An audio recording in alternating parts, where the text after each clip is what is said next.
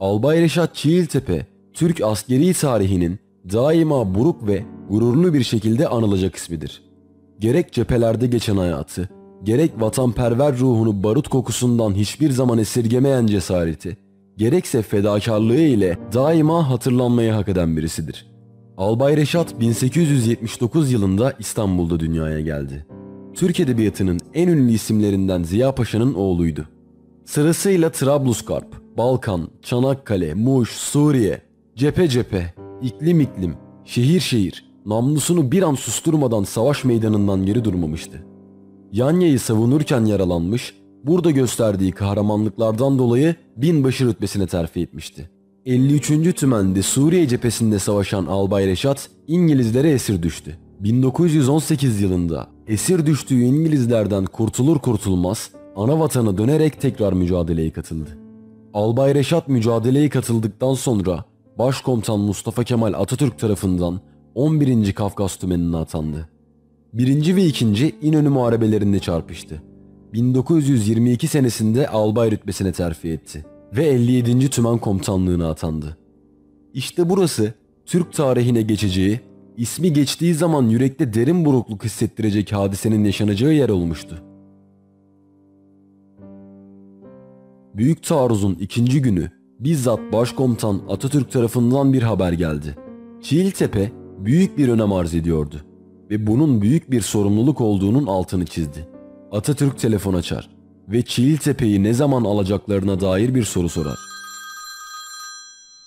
Reşat Bey, bu önemli tepeyi ne zaman alacaksınız? Yarım saat sonra alacağız komutanım. Başarılar diliyorum. Saat 10.45.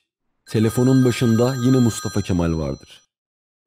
Reşat Bey, gözümüz o tepede. Düşman hala direniyor. Komutanım, düşman tepeye bir tümen yığmış. Ama mutlaka alacağız komutanım. Saat 11.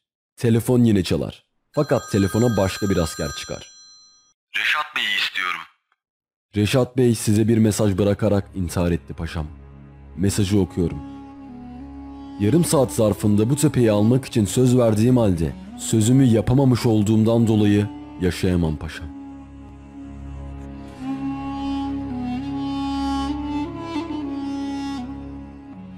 Mustafa Kemal haberi alınca hüzünlenir ve Allah rahmet eylesin.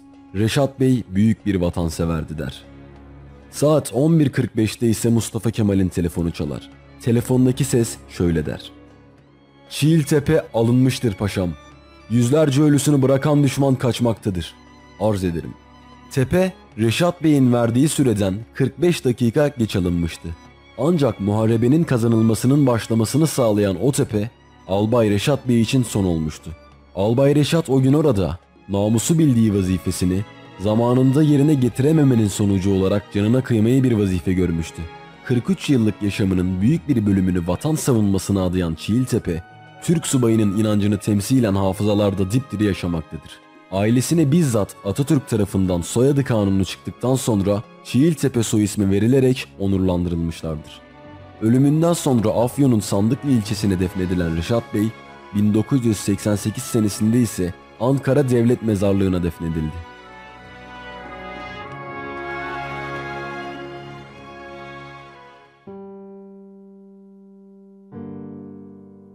Süleyman Askeri Bey, Kosova'ya bağlı Prizren şehrinde 1884 senesinde dünyaya geldi.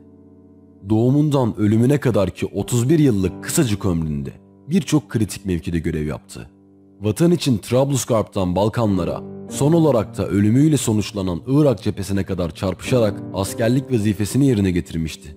İtalyanlar o zamanki vatan toprağı Libya'yı işgal etmişti. Osmanlı İmparatorluğu kısıtlı imkanlar sebebiyle Libya'ya yeterli desteği gönderemiyordu. Süleyman Askeri Bey ise bu vatan toprağını savunmak için Libya'ya gönüllü giden subaylardan biriydi. Hatta öyle ki subaylar destekten öylesine mahrum bırakılmıştı ki vatan için çıktıkları yolun masrafını kılıçlarını ve kıyafetlerini satarak karşılamışlardı. Süleyman Askeri Libya'da savaşırken iki de kurşun yedi. Kuşçubaşı Eşref kitabına göre Cemal Paşa, subaylara onları artık kollayamadığını, İstanbul'a geri dönmeleri gerektiğini söyledi. Süleyman Askeri bunun üzerine Cemal Paşa ile telgraf başında saatlerce müzakere etti. Sıcak memleketlerde 2 yıl hizmet verenlere ya tayin olma ya da 3 ay izne çıkma hakkını atıfta bulunarak bu izni talep etti. Türk tarihinin ilk organize istihbarat örgütü Teşkilat-ı Mahsusa'ya başkanlık etti. Batı Trakya'da bir Türk hükümeti kurulmasına yardımcı olup hükümetin de genelkurmaya başkanlığını yaptı.